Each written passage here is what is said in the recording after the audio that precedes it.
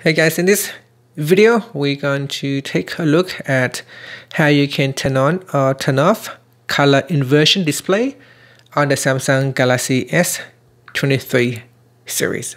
First tap on the home button to go back to the home screen. From the home screen, swipe down at the top to open up quick settings. In here, tap on the settings icon.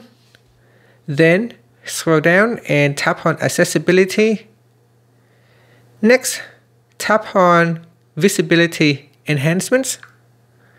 Then scroll down.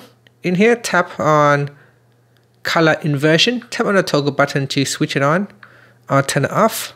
I'm going to tap on the left hand side panel. In here, say reverse the colors on your screen so that light colors appear dark and vice versa. This works in all apps, including media. You can also tap on the shortcut button and this will allow you to add the shortcut to the accessibility button or assign the short, uh, shortcut to the side key and the volume keys.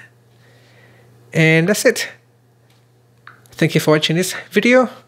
Please subscribe to my channel for more videos.